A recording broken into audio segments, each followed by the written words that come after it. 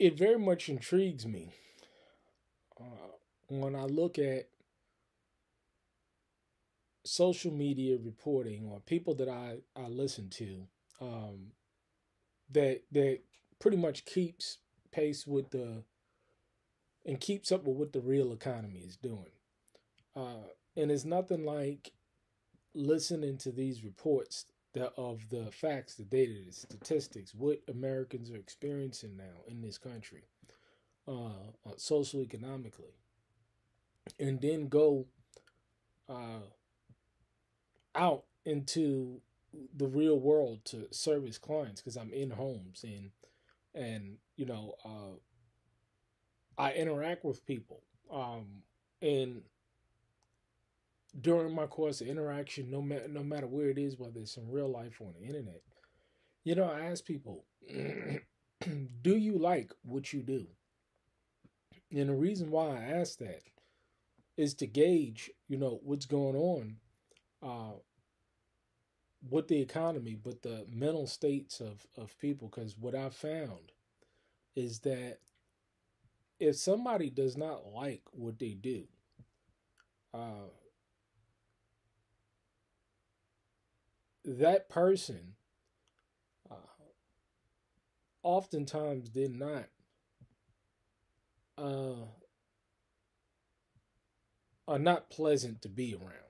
Because when you have to spend 40 hours a day uh, and there's all strata of people all levels of people where they don't like what they do. You could be making $500000 a year not like what you do you can be making hundred thousand dollars a year or or or thirty thousand dollars a year. It doesn't matter. Uh, but the psychological effects, regardless of what the what the strata of people, um, they're very much moody to be around. They're very much um, difficult to be around, uh, especially in this day and age, because the displeasure of people when it comes to a wide variety of issues, whether it's, you know, socioeconomic issues, they're under a tremendous amount of pressure. Um, pressure to just survive. And I'm listening to Jeremiah Babe talk about, you know, this kind of stuff. And a lot of people that just aren't prepared because how can you think about any think about it. How can you think about any kind of preparedness any kind of uh, higher level of thinking thinking outside of the matrix when the matrix got you at it just got you firmly held?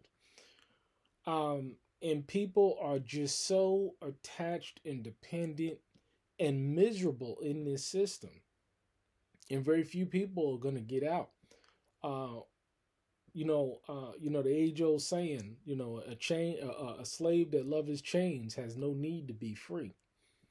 Um, but these are people that you know at the same time love them chains, uh, and it's sad to see. Uh, because when you have to interact with people that are just pleasantly unhappy, uh, they're more prone to uh, project that onto you. They're more prone to not deal with you in a manner that is befitting someone of honor and integrity. Um, and people don't make these kind of connections. So you know, I mean, I like you know because everybody we you know we have to work. I mean, just like anybody, even or, although I'm self-employed and I don't have to uh, kowtow and step and fetch to um you know any other um entity because you know I I provide for myself. I, I go out there and I'm blessed with these hands to be able to produce for my family.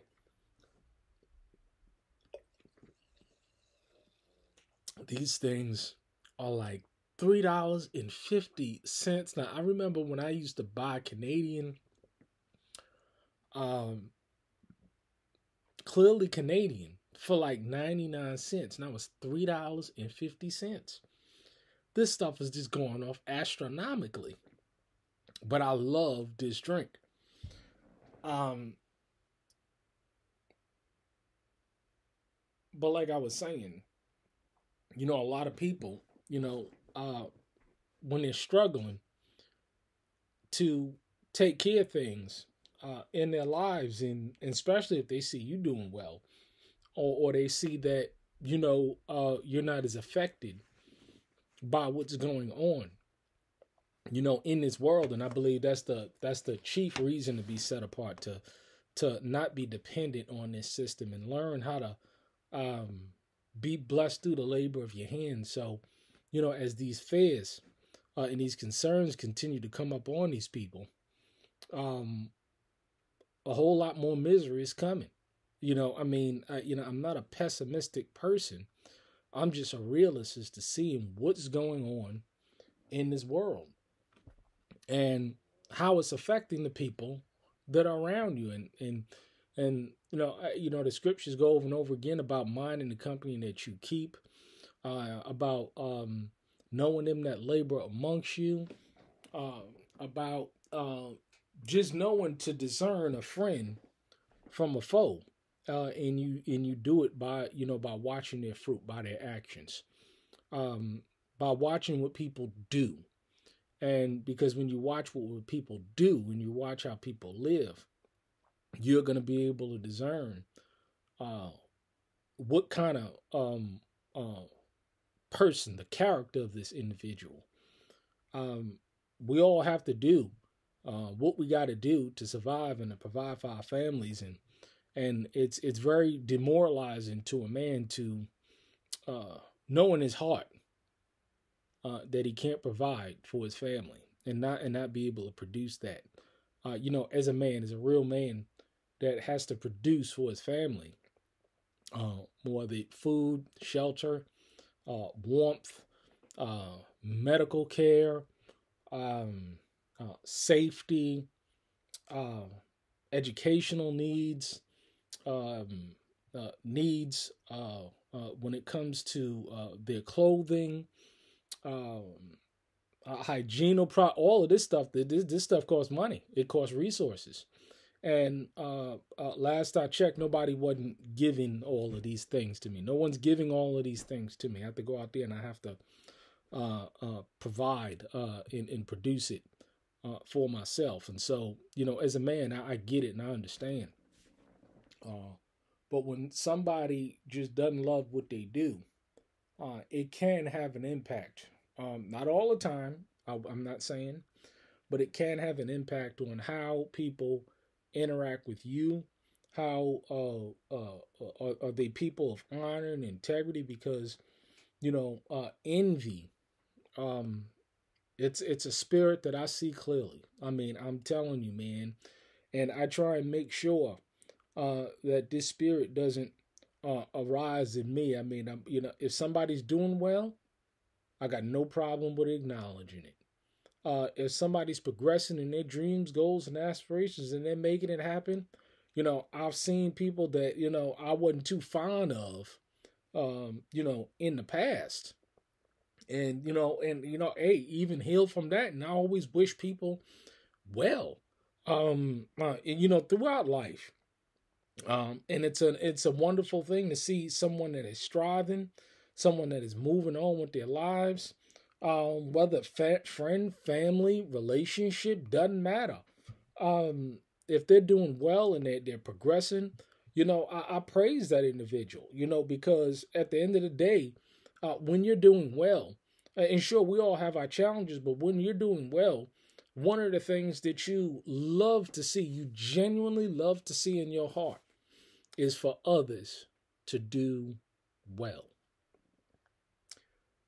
um, is much to be desired in, in, this time that we're living in. Um, do you like what you do? Uh, because see, when you love what you do, um, probably gonna call two or three times. Um, but when you love what you do, you'll never work a day in your life, and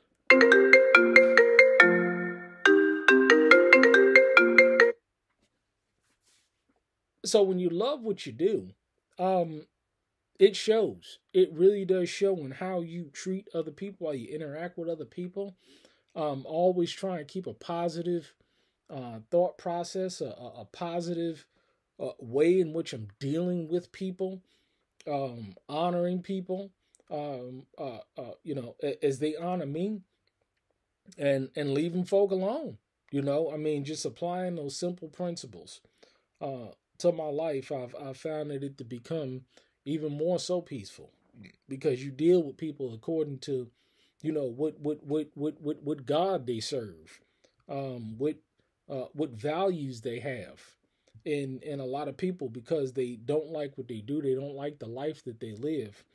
Um, they can be uh, uh, very much trifling, very much uh, demonic in their in their dealings with you, not having any honor whatsoever, uh, uh, no having no integrity of heart because they they don't like what they do. They they don't they look at their lives and they don't like what they see, and so therefore they're going to project that onto you.